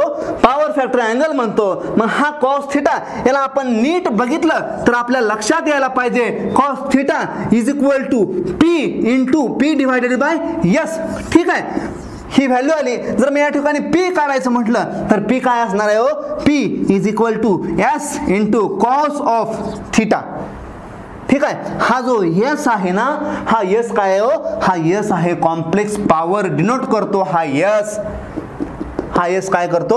कॉम्प्लेक्स पॉवर डिनोट करतो. याला मी लिहिलं V into I into cos theta याचा कॉन्ज्युगेट घेतला. तर जी मला पॉवर मिळणार आहे ती पॉवर काय असणार आहे हो? ट्रू पॉवर त्यालाच आपण ॲक्टिव्ह पॉवर रिअल पॉवर किंवा युजफुल पॉवर किंवा वॅटफुल पॉवर त्यालाही असं आपण म्हणू शकतो. मग ही झाली काय झाली?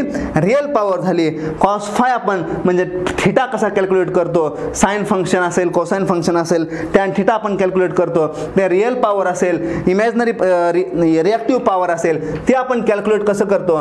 ते आपण पाहिलं. जी ही टर्म पॉवर अँगल कसा आपण कॅल्क्युलेट करू शकतो ते आपण पाहिलं. आता या ठिकाणी आपण याचे वेगवेगळे काय घेऊया? वेगवेगळ्या केसेस घेऊया. जर माझं सर्किट असेल माझ्या सर्किटमध्ये फक्त जर रेजिस्टन्स असेल तर पॉवर कशी येणार आहे? फक्त जर इंडक्टर असेल तर पॉवर कशी येणार आहे? फक्त कपॅसिटर असेल तर पॉवर कशी येणार आहे? ते आपण या ठिकाणी आता पाहणार आहोत. मी त्यासाठी काय करतोय? पहिल्यांदा एक ए सी सोर्स घेतोय आणि त्या ए सी सोर्सला फक्त आणि फक्त रेजिस्टन्स कनेक्ट करतोय. आणि त्यानुसार त्याची पॉवर काय येऊ शकतो ते आपण पाहणार आहोत. मी काय करतोय? एक ए सी सोर्स घेतोय. ए सी सोर्स वी व्ही आहे असं मेन्शन करतो त्याची व्हॅल्यू शंभर व्होल्ट आहे असं मेन्शन करतोय. मी काय करतोय? त्याला एक रेजिस्टन्सने कनेक्ट करतोय. रेजिस्टन्सची व्हॅल्यू टेन ओहम आहे असं कन्सिडर करतोय. ठीक आहे? मी या ठिकाणी हा प्रॉब्लेम सॉल्व्ह करणार नाही. मी फक्त जर रेजिस्टन्स असेल तर मी पॉवर कशी कॅल्क्युलेट करू शकतो? ते आपल्याला पाहायचं आहे. या ठिकाणी व्ही दिलेला आहे. व्हीची व्हॅल्यू शंभर व्होल्ट दिलेली आहे. हा जो व्ही आहे हा व्ही जर शंभर व्होल्ट दिलेला असेल काही मेन्शन केलं नसेल तर हा व्ही आपण डोळे झाकून सांगू शकतो. की हा व्ही काय आहे हो? आर एम एस व्हॅल्यू आहे. मग ही आर एम एस व्हॅल्यू दिलेला आहे. हा टेन व्होल्ट दिलेला आहे. जेव्हा जेव्हा माझ्या सर्किटमध्ये फक्त रेजिस्टन्स असणार आहे तेव्हा तेव्हा त्या सर्किटचा पॉवर फॅक्टर हा युनिटी असणार आहे. पॉवर फॅक्टर हा युनिटी असणार आहे. याचाच अर्थ काय आहे हो? जो फेज डिफरन्स असणार आहे तो फेज डिफरन्स झिरो असणार आहे. मग याची जर मी फेजर डायग्राम काढायला गेलो तर मी हा जर रेफरन्स घेतला झिरो ऍक्सिस वरती माझा व्होल्टेज आला हा व्ही आर आला माझा करंट आला हा माझा करंट आला म्हणजेच व्होल्टेज आणि करंट यांच्यामध्ये काही फेज डिफरन्स नसणार आहे. जर फेज डिफरन्स नसेल तर त्या सर्किटचा पॉवर फॅक्टर काय असणार आहे हो? युनिटी असणार आहे. मग जी जर मी यांचा प्रोडक्ट केला तर काय असणार आहे हो? V R V into I म्हणजे यातून फ्लो होणारा current I R into voltage across resistance I R V R यांचा प्रोडक्ट केला तर मला काय मिळणार आहे हो? एक पॉवर मिळणार आहे. आणि ती पॉवर काय असणार आहे हो? जी पॉवर आहे तीच power total power complex power असणार आहे. फेज अँगल झिरो आहे. याचाच अर्थ काय आहे? थिटा व्ही आणि थिटा आय यांच्यामध्ये काय आहे हो? झिरो डिफरन्स आहे. जर या ठिकाणी थिटा व्ही आणि थिटा आयमध्ये जर झिरो डिफरन्स असेल या ठिकाणी झिरो फूट केला तर ही साईन टर्म म्हणजे हा जो रिॲक्टिव्ह पार्ट आहे तो रिॲक्टिव्ह पार्ट काय होणार आहे हो? पूर्णपणे व्हॅनिश होणार आहे. फक्त राहणार कोणता आहे हो? फक्त रिअल पार्ट राहणार आहे. म्हणजे क्यू ही टर्म कॅन्सल झाली म्हणजे जी कॉम्प्लेक्स पॉवर असणार आहे टोटल तीच काय असणार आहे हो? रिअल पॉवर आहे असं आपण म्हणणार आहे. त्याचबरोबर मी हे प्युअरली रेजिस्टन्स घेतला. या ठिकाणी जर मी प्युअरली इंडक्टन्सबद्दल बोललो तर त्या प्युअरली इंडक्टन्सच्या बाबतीत काय होणार आहे? ते आपल्याला पाहायचं आहे. मी प्युअरली इंडक्टिव्ह सर्किट घेतोय. काय करतोय बघा मी रेजिस्टन्सच्या ठिकाणी फक्त काय करतोय हो? इंडक्टन्स आहे असं कन्सिडर करतोय. मी व्हॅल्यू काय करतोय? तेच घेतोय. मी फक्त हा जो लिहिलेला आहे हा काय आहे? एल आहे असं कन्सिडर करतोय. त्याची व्हॅल्यू टेन ओहम आहे असं कन्सिडर करतोय.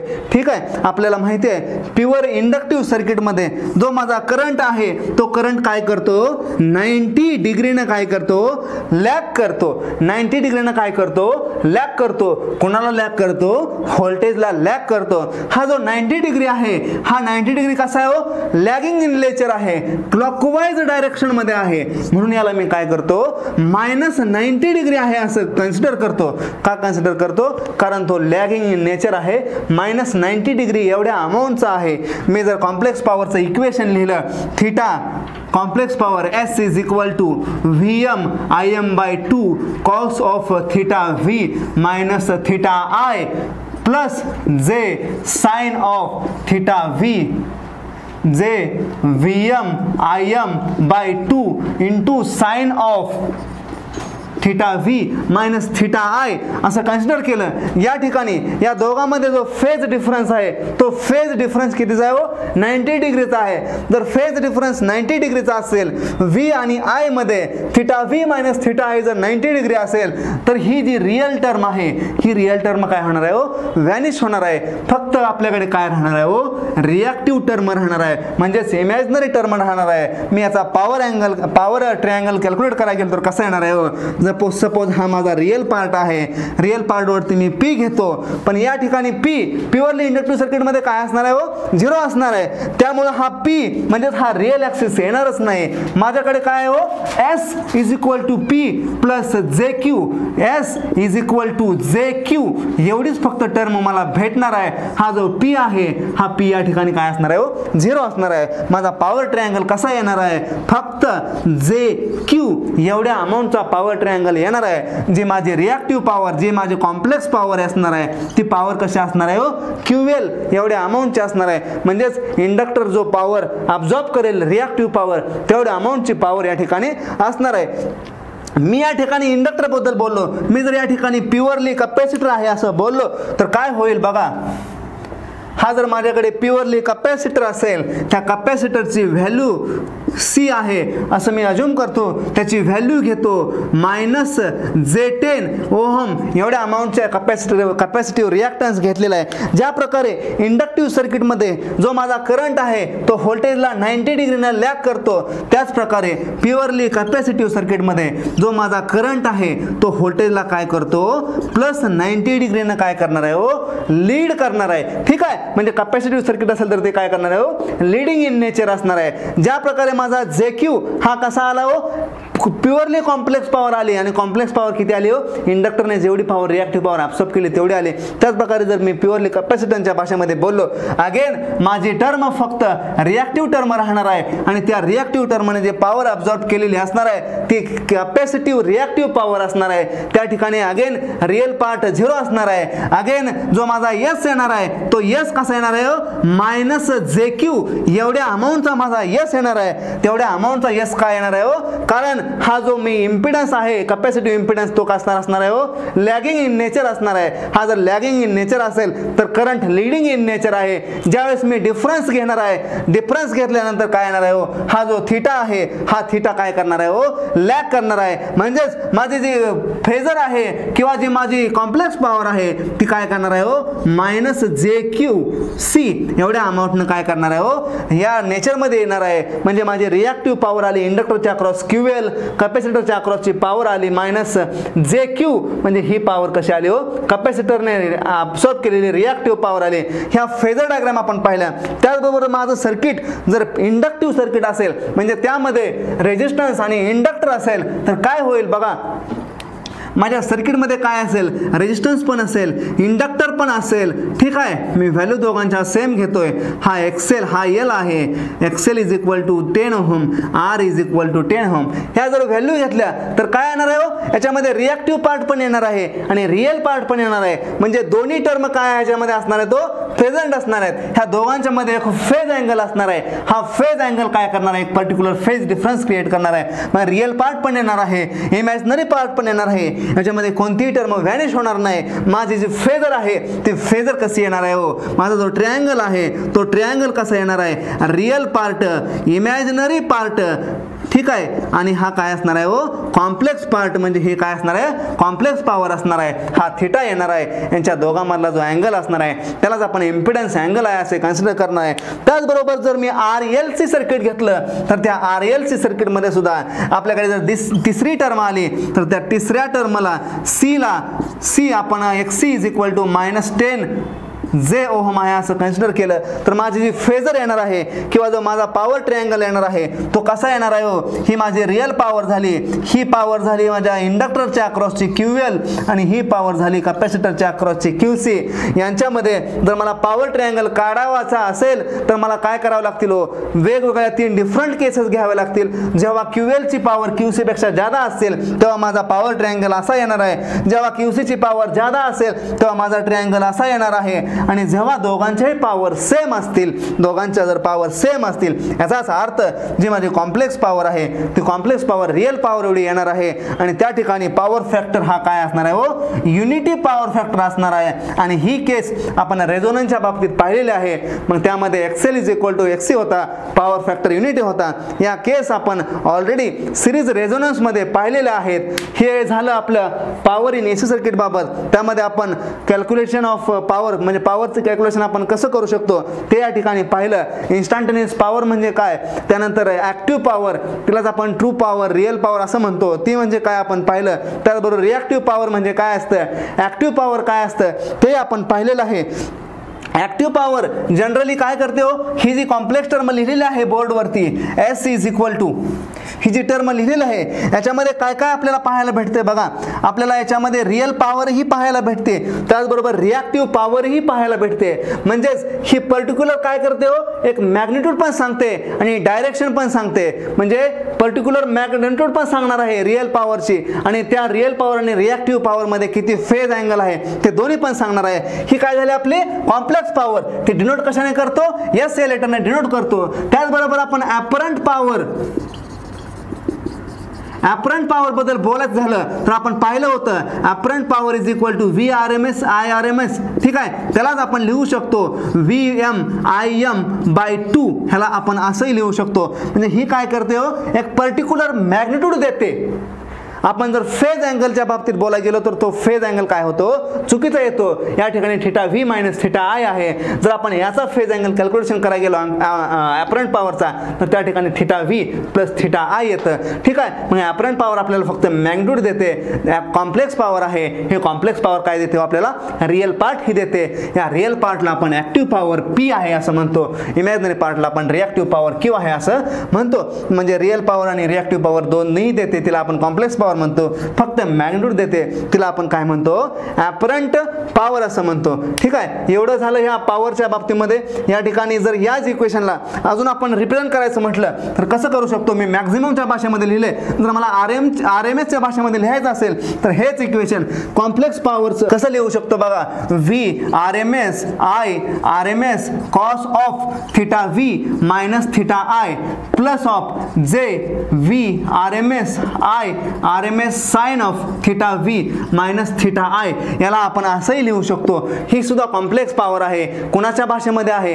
आर एम एसच्या भाषेमध्ये आहे. यालाच आपण असं सिम्प्लिफाईड भाषेमध्ये लिहितो.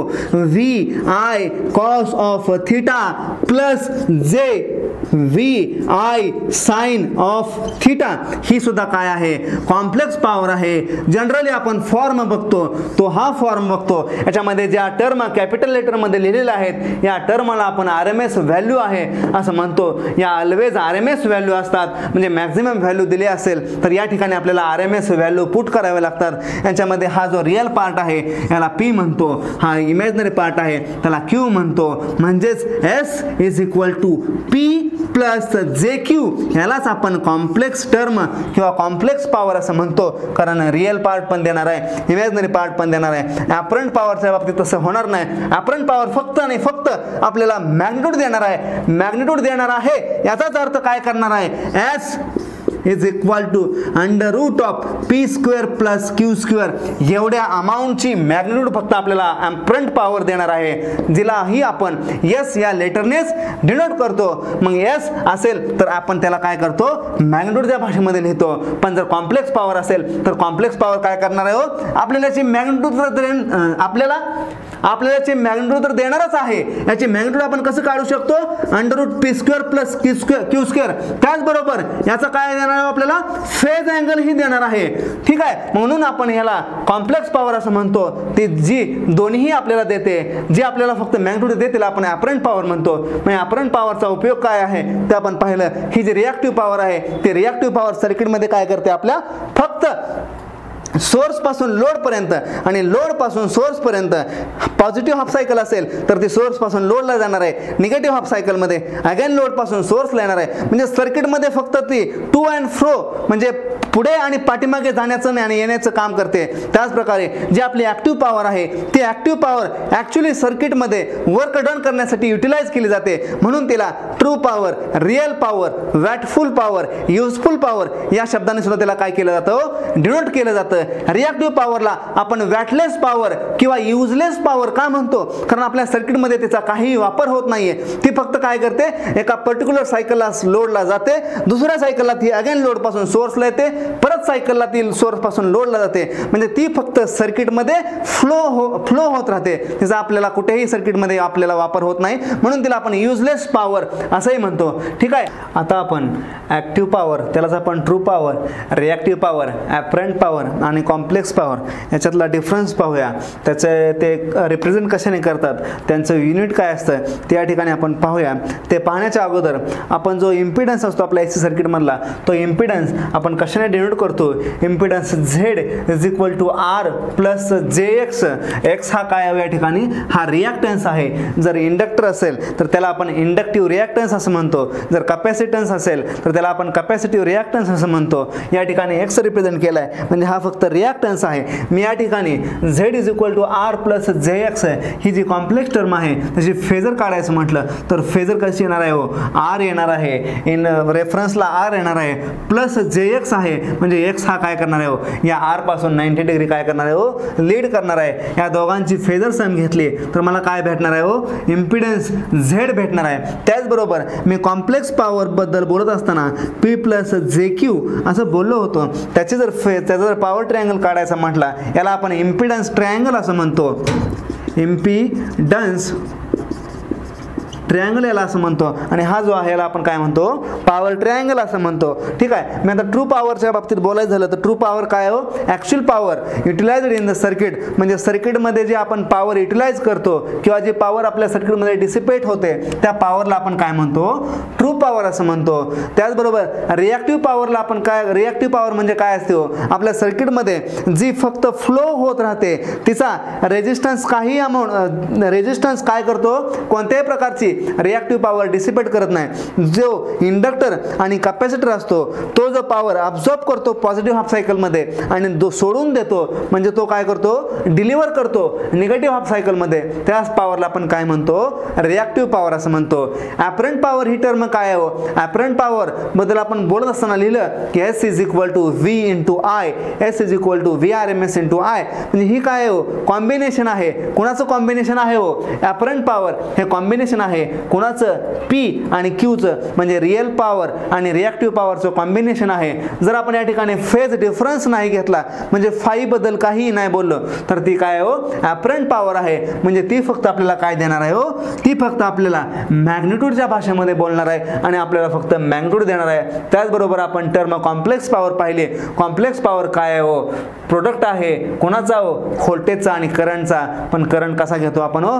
कॉन्जिगेट घेतो. म्हणजे ॲपरंट पॉवर आपल्याला काय करणार आहे हो? मॅग्नेट्यूड तर देणारच आहे पण त्याच्याबरोबर फेज डिफरन्स सुद्धा देणार आहे. मग रिअल पॉवर किंवा ट्रू पॉवर जर आपण बोललो तर ती कशी असणार आहे हो? P is equal to V into I into cos of phi ठीक आहे? ज्याला आपण रिप्रेझेंट करत असेल याला आपण प्रिव्हियसमध्ये पाहिलेलं आहे. V into I into cos of theta V minus theta I याला आपण असंही लिहू शकतो. हा जो व्ही आहे हा जो आय आहे मी सांगितलं आहे जेव्हा जेव्हा फक्त व्ही असेल तेव्हा तेव्हा तो काय असणार आहे ओ आर एम एस असणार आहे. हे लेंदी हो लिहिणं होत आहे म्हणून या ठिकाणी काय मेन्शन केलेलं आहे आपण हो? फक्त व्ही हेच लेटर आपण यूज करतो. आणि व्ही हे लेटर असेल तर ते फक्त आर एम एसच रिप्रेझेंट करतं. याला आपण रिप्रेझेंट केलं होतं. हा जो थिटा व्ही आणि थिटा आय मधला डिफरन्स आहे यालाच आपण फेज डिफरन्स असं म्हणतो. आणि हाच फेज डिफरन्स आपण या फायने किंवा फेज अँगल फायने काय केलेलं आहे हो? रिप्रेझेंट केलेलं आहे. मग मी असं लिहिलं काय? आणि असं लिहिलं काय? दोघांचा मिनिंग काय आहे हो? सेमच आहे. त्याचबरोबर मी रिॲक्टिव्ह पॉवरबद्दल बोललो. रिॲक्टिव्ह पॉवर ही काय आहे हो? कॉम्प्लेक्स पॉवरचा इमॅजिनरी पार्ट त्यालाच आपण रिॲक्टिव्ह पॉवर म्हणतो. मग कॉम्प्लेक्स पॉवरचा इमॅजिनरी पार्ट काय होता हो? V R M S into I R M S into sine of theta V minus theta I again theta V minus theta I is nothing but phase difference phi त्यालाच आपण five किंवा theta या लेटरनं सुद्धा denote करतो. मग आपण reactive power represent करत असेल तर थि क्यू या लेटरनं रिप्रेझेंट करतो आणि लिहितो V into I into sine phi again V and I R R M S value आपण अपरंट पॉवरबद्दल बोललो. अपरंट पॉवर आपल्याला काय देणार आहे हो? मॅग्निट्यूड देणार आहे. हे प्रोडक्ट आहे. कोणाचा? व्ही आर एम एस आणि आय आर एम एसचा प्रोडक्ट आहे. ते फक्त आपल्याला काय देते हो? मॅग्निट्यूड देते. कॉम्प्लेक्स पॉवरबद्दल बोललो. कॉम्प्लेक्स पॉवर आपल्याला मॅग्निट्यूड आणि फेज अँगल ती काय करणार आहे? दोन्ही देणार आहे. याच पॉवरला जर आपण आणखी सोप्या भाषेमध्ये लिहायचं म्हटलं तर कसं लिहू शकतो? बघा या ठिकाणी हा जो कॉस फाय आहे जर आपण कॉस फाय कॅल्क्युलेट करायचा म्हटला तर कॉस फाय कसा कॅल्क्युलेट करू शकतो? बघा हा जो फाय आहे हा फायलाच आपण कॉस फाय जर कॅल्क्युलेट करायचं असेल तर कॉस फाय म्हणजे काय आहे हो? आर डिवायडेड बाय झेड जर केलं म्हणजे कॉस फायला आपण लिहू शकतो. Cos phi is equal to according to this impedance triangle R divided by Z या कॉस फायला आपण असं लिहू शकतो. त्याचबरोबर जो आपला व्होल्टेज आहे किंवा जे आपला करंट आहे त्या करंटलाही आपण लिहू शकतो. इन ए सी सर्किट आपल्याला माहिती आहे in A C circuit V is equal to I into Z हा काय आपला ए सी मधला ओहम्स लॉ आहे. हा झेड काय आहे? हो, आपला ए सी मधला इम्पिडन्स आहे. तो आर एक्स एक्सेल आणि एक्सी याच्यापासून काय असतो? बनलेला असतो. त्याला आपण काय म्हणतो? ए सी मधला इम्पिडन्स आहे. असं म्हणतो. मग ह्या जर आयला किंवा ह्या जर व्हीला मला रिप्रेझेंट करायचं असेल तर मी कसं रिप्रेझेंट करू शकतो बघा? मला आय लिहायचं असेल. व्ही बाय झेड मला व्ही लिहायचं असेल. आय इंटू झेड असं मला रिप्रेझेंट करतो. ह्या जर व्हॅल्यू मी या ठिकाणी पुट केल्या तर मला काय भेटतं बघा? पी इज इक्वल टू व्हीच्या ठिकाणी मी लिहितो आय इंटू झेड ठीक आहे? इंटू कॉस्फायच्या ठिकाणी मी लिहितोय आर बाय झेड ठीक आहे? हा झेड आणि हा झेड काय होणार आहे हो? कॅन्सल होणार आहे. ठीक आहे? इथले टर्म आय राहिलेली आहे. ठीक आहे? ही आय मी कुठं लिहितोय बघा? या ठिकाणी आय लिहितोय. म्हणजे ॲन्सर काय आलं बघा? आय इंटू आय आयचा स्क्वेअर इंटू आर म्हणजेच आपण ॲक्टिव्ह पॉवरला आय स्क्वेअर आर याने हे डिनोट करू शकतो. जे की टर्म आपण डी सीमध्ये पाहिली होती. डी सीमध्ये सुद्धा आपण आय स्क्वेअर आर हाच फॉर्म्युला लिहिला होता. ए सीमध्ये सुद्धा आपण आय स्क्वेअर आर हाच फॉर्म्युला लिहितोय. फक्त फक्त फरक काय आहे? जो डी सीमध्ये करंट होता हा जो करंट होता तो डी सी करंट होता. हा जो ए सीमध्ये करंट आहे हा करंट कसा आहे हो? हा current I R M S square आहे. I R M S square into R या करंटला आपण काय म्हणतो? I R M S current I R M एसचा square into R म्हणजेच आपण पॉवरला लिहू शकतो डायरेक्टली ही टर्म आपण कशी लिहिली? ते आपल्याला समजलेले आहे. ठीक आहे? मग या पॉवरला मी लिहितो P is equal to I square into R असंही लिहू शकतो. जर मला व्हीच्या भाषेमध्ये लिहायचं असेल जर मी आयची व्हॅल्यू या ठिकाणी ही पुट केली तर मी पी व्हीच्या भाषेमध्ये लिहू शकतो. P is equal to V square divided by R म्हणजे या दोन व्हॅल्यू या तीन फॉर्म्युल्यानुसार मी कोणत्याही एसी सर्किटमधली पॉवर काय करू शकतो? कॅल्क्युलेट करू शकतो. मग जे पॉवर असणार आहे जी ॲक्टिव्ह पॉवर असणार आहे जी ट्रू पॉवर असणार आहे ती ट्रू पॉवर फक्त आणि फक्त रेजिस्टन्सबद्दलच बोलणार आहे. कारण रेजिस्टन्सच हा असा एक एलिमेंट आहे की तो आपल्या सर्किटमध्ये काय करणार आहे हो? रिअल पॉवर किंवा ट्रू पॉवर काय करणार आहे हो? डिसिपेट करणार आहे. म्हणून आपण ट्रू पॉवरबद्दल बोलताना फक्त रेजिस्टन्सबद्दल बोलतो. मग या ट्रू पॉवरचं युनिट आहे ती त्याला डिनोट करतो आपण पीने आणि याला मेजर करतो वॅटमध्ये. ठीक आहे? म्हणजे वॅट हे काय झालं हो? त्याचं युनिट झालं. त्याचबरोबर जसं आपण पीला पाहिलं तसंच आपण क्यूच्या बाबतीतही लिहू शकतो. या ठिकाणी जर क्यू हा रिॲक्टिव्ह पॉवर असेल तर त्या क्यूलाही लिहू शकतो. Q is equal to I square into X L या ठिकाणी आर ही टर्म का येणार नाही हो? आर ही टर्म येणार नाही कारण रिॲक्टिव्ह पॉवर आहे. रिॲक्टिव्ह पॉवर असेल तर रिॲक्टिव्ह पॉवर फक्त कोण अब्झॉर्ब करणार आहे हो? इंडक्टर अब्झॉर्ब करणार आहे. रे रिॲक्टिव्ह पॉवर रेजिस्टन्स अब्झॉर्ब करणार नाही आहे कारण रेजिस्टन्समध्ये जो फेज डिफरन्स आहे करंट आणि व्होल्टेजमध्ये तो झिरो असणार आहे. जर फेज डिफरन्स झिरो असेल तर रिॲक्टिव्ह पॉवरमध्ये हा जर फेज डिफरन्स झिरो असेल तर क्यूची व्हॅल्यू रेजिस्टन्समध्ये झिरो येणार आहे. म्हणजे क्यू कोणत्याही प्रकार म्हणजे रेजिस्टन्स कोणत्याही प्रकारची रिॲक्टिव्ह पॉवर अब्झॉर्ब करणार नाही. मग अब्झॉर्ब कोण करेल? फक्त इंडक्टर अब्झॉर्ब करेल. त्यालाच आपण अजूनही लिहू शकतो Q is equal to V square by X L लक्षात ठेवायची गोष्ट एवढीच आहे या ठिकाणी हा जो आय आहे या ठिकाणी हा जो व्ही आहे they are always in R M S value म्हणजे त्या नेहमी आर एम एस व्हॅल्यू आहेत. ठीक आहे? मग आपण रिॲक्टिव्ह पॉवरला डिनोट करतो क्यू या लेटरनं आणि त्याला मेजर करतो व्होल्ट एम्पियर रिॲक्टिव्ह या युनिटमध्ये आपण त्याला मेजर करतो. त्याच पद्धतीनं आपण ॲपरंट पॉवरबद्दल बोलायला गेलो तर ॲपरंट पॉवर कॉम्बिनेशन कशाचं आहे हो? Apparent power is a combination of reactive power and active power active power आणि रिॲक्टिव्ह पॉवरचं कॉम्बिनेशन आहे. त्याला जर आपण लिहायला गेलो तर ॲपरंट पॉवर ही काय हो? Total power in the circuit म्हणजेच रिॲक्टिव्ह पॉवर आणि reactive power sorry real power आणि रिॲक्टिव्ह पॉवर या दोघांचं कॉम्बिनेशन आहे. म्हणजेच ॲपरंट पॉवर ही ॲपरंट पॉवर कोणाचं कॉम्बिनेशन आहे? रिअलचं आणि रिॲक्टिव्ह म्हणजे total power dissipated in the circuit or total power absorb in the circuit त्यालाच आपण काय म्हणणार आहोत? त्यालाच आपण ॲपरंट पॉवर असं म्हणणार आहे. मग याला मी रिप्रेझेंट करतो. एस इज इक्वल टू ही फक्त आपल्याला माउंट मॅग्निट्यूड देणार आहे. व्हीची जर व्हॅल्यू या ठिकाणी मी पुट केली व्हीची व्हॅल्यू काय आहे हो? I into Z I into Z into I म्हणजेच मला काय मिळणार आहे हो? आय स्क्वेअर झेड एवढ्या अमाऊंटची मॅग्निट्यूड मिळणार आहे. त्याचबरोबर एस इज इक्वल टू मी जर या ठिकाणी आयची व्हॅल्यू पुट केली तर मला काय मिळणार आहे?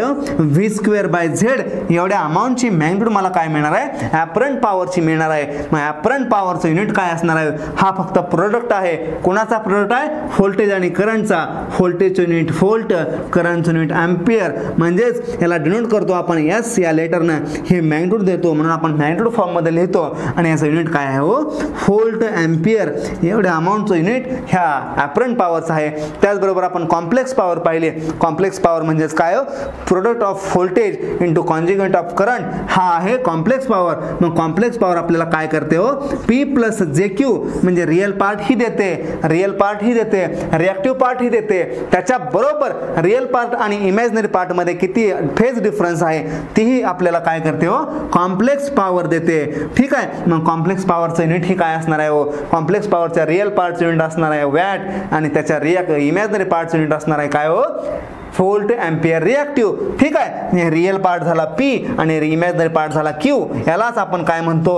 रिअल पॉवर यालाच आपण काय म्हणतो? रिअल पॉवर यालाच आपण काय म्हणतो? रिॲक्टिव्ह पॉवर एवढ्या टर्मिनॉलॉजी झाल्या आपल्या ए सी पॉवरमध्ये लक्षात ठेवायच्या गोष्टी फक्त आपल्याला एवढ्याच आहेत. यामध्ये व्ही आय कॉस फाय या ठिकाणी हा जो व्ही आय आहे यालाच आपण V R M S I R M S cos phi असंही लिहू शकतो. त्याचबरोबर हे लिहिलं मी आर एम एसच्या भाषेमध्ये. मला जर मॅक्झिममच्या भाषेमध्ये लिहायचं असेल तर त्यालाच मी V M I M divided by two into cos of phi असंही लिहू शकतो. जसं जसं मी V R M S I R M S या ठिकाणी रिअल पॉवर लिहिलं. त्या ठिकाणी V R M S I R M S into sine phi असंही लिहू शकतो.